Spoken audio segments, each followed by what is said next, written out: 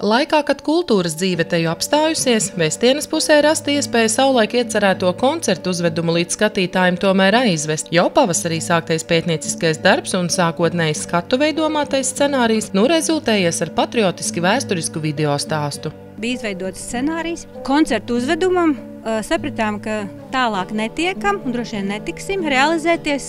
Vienīgā iespēja bija veidot filmu bez pilnīgi nekādas iepriekšējas pieredzes, absolūti bez nekāda budžeta, absolūti uz pilnīgu pašiedvesmu, uz pašiniciatīvu un uz pašdarbību. Vācām stāstus, fotografijas, patiesībā unikāli stāsti.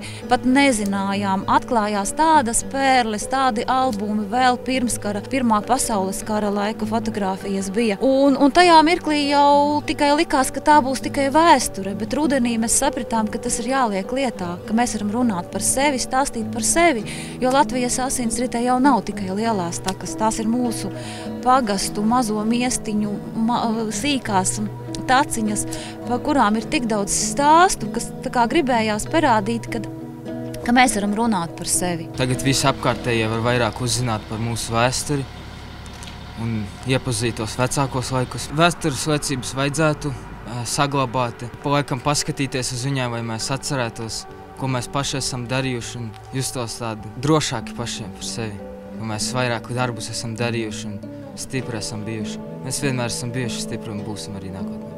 Kā Lezera stāstos apkopotas vēsturiskās liecības par notikumiem no 1830. gada līdz pagājušā gadsimta 60. gadiem. Tā vieta, kur pašreiz ir Vestiena, tā radās tikai pēc mūžas uzcelšanas.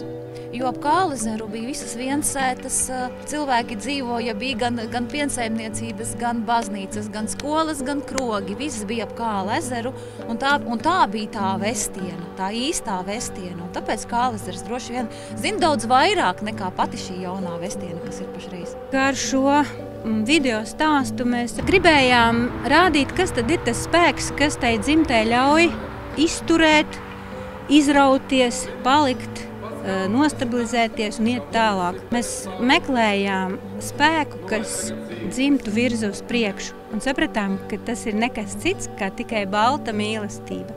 Stāsts ir par grīšļu puķu dzimtu, jo Visvaldis Grīslis ieprecējās puķu dzimtā. Un viņa sievas tēvs bija Latvijas kara ordeņa kavalieris, kas ir uzcēlis upmaļus.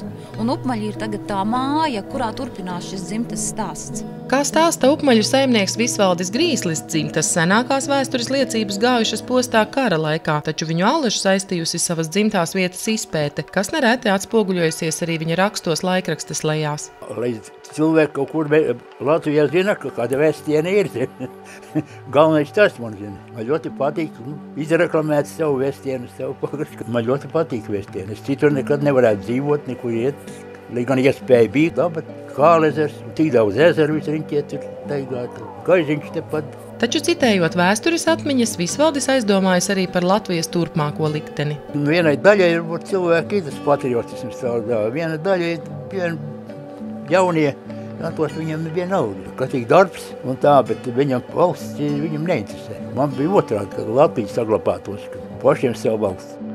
Ja mēs paši sevi nesaudzēsim un šitā klīdīsim pa pasauli, tad ir bēdīgs likums.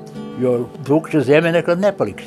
Būtiski, ka video stāsts, kas no 18. novembra būs skatāms internetvidē, tapis ar iedzīvotāju pašiniciatīvu bez jebkāda finansu atbalsta vai projektu līdzekļiem. Filmā ar autora piekrišanu izmantotas vara vētra dziesmas. Sandra Zariņā, Viscāzars Vidzemes televīzija.